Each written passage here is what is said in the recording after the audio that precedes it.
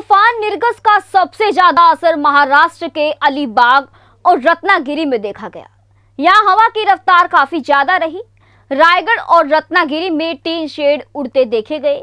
यहीं एक जहाज़ ऊँची लहरों में उलझकर समुद्र के किनारे पर फंस गया। उधर मुंबई में एक कार्गो प्लेन लैंडिंग के दौरान रनवे से फिसल गया। इसके बाद मुंबई एयरपोर्ट पर कई घंटे तक फ़्लाइट ऑपरेशन बंद रखा गया।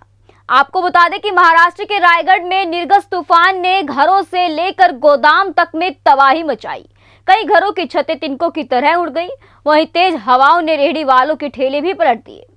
अलीबाग में तूफ़ान टरकाते समय 125 किलोमीटर की रफ्तार से हवाएँ चलनी शुरू हो गई। तूफ़ान के असर से तेज बारिश भी हुई। आंधी और बारिश से इमारतों को नुकसान हुआ।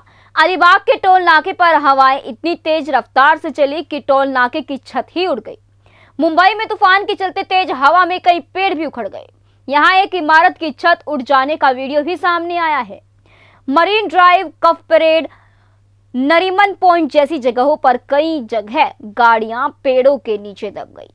वहीं पालघर में तेज हवाओं और बारिश से खासा नुकसान हुआ है। कई घरों की छतें उड़ने की तस्वीरें सामने आई। वहीं तेज हवा के चलते कई जगह पेड़ भी गिर गए हैं। तटीय शहरी रत्नागिरी में भी तूफ़ान ने खासा कहर ढाया। यहाँ कई मकानों की टीन की छत उड़ गई तो कई पेड़ भी गिर गए। यहाँ एक जहाज़ ऊँची लहरों और तेज हवा में फंसकर समुद्र के किनारे पर फंस गया।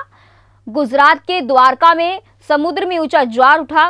पहले यह तूफ़ान गुजरात के तट से भी टकराने वाला था, लेकिन मौसम विभाग ने बाद में यह अनुमान वापस ले लिया।